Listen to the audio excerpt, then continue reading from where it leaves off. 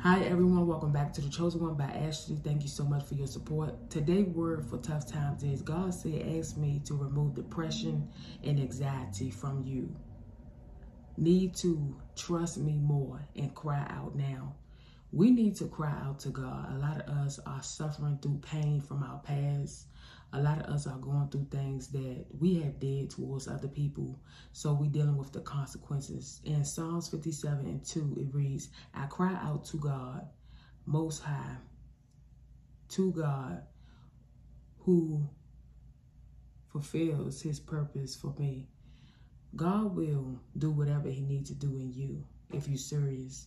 I want you to know that it's important that you cry out to God. Whatever you're going through, you know, a lot of us are dealing with anxiety and depression.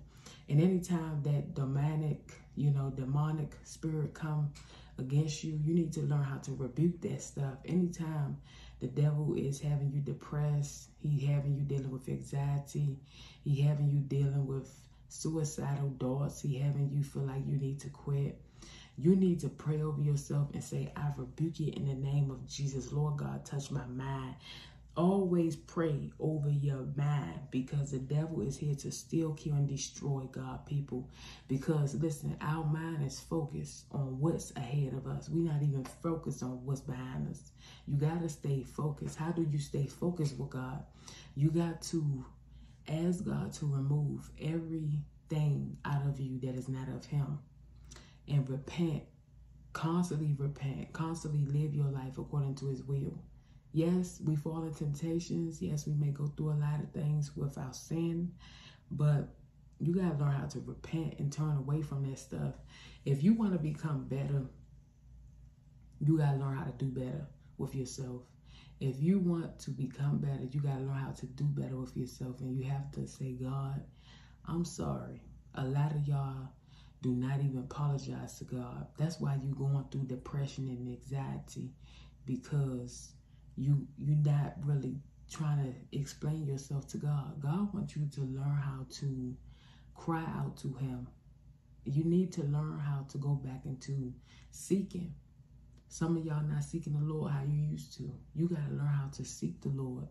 And when you seek him, you can find him. It's time for you to call on Jesus and say, Lord, I need you to make a way out of no way in my life. Really cry out to God and say, God, make a way for me. Because I'm dealing with a lot of things on the inside. God know us before anything. He know you. He know your thoughts. He know what you're going through. And I want you to know you got to learn how to cry out to God and stop thinking that you know everything. You don't know everything. I don't know everything. And sometimes, you know, when I'm talking to God, he have to get me back into the place that where he want me to go. You know, he want me to pray. He want everybody to pray. He want everybody to fast. He want us to call on his name. So I just want to say, you know, put God first in everything you do and just know that he wants to help you to be the person that he wants you to be and just learn how to just turn to him and cry out to God. Don't be afraid to cry out to him and just know that God can remove every sin that you're dealing with. He can remove that away and know that God can remove any problem, whatever you're dealing with, depression, anxiety, you need to learn how to remove that spirit and tell God to remove that from you. Anytime the devil putting something on you and you feel uncomfortable, something ain't right, it's because the devil is trying to control you. You need to lift your hands up and say, I rebuke anything that Satan is trying to put on me.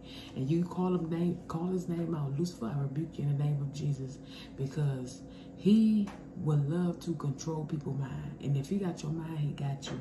So I just want to say stay prayed up, keep praying, keep fasting, keep serving the Lord and allowing God to be first in your life because the devil is busy and we have to learn how to stay focused on God and we have to learn how to keep God first. So I want to say whatever you're doing, look at yourself in the mirror and fix yourself to become better and just ask God to fix you and he will. Thank you for watching. Don't give up but pray about all things. I love you all. Have a blessed, beautiful day. Thank you again.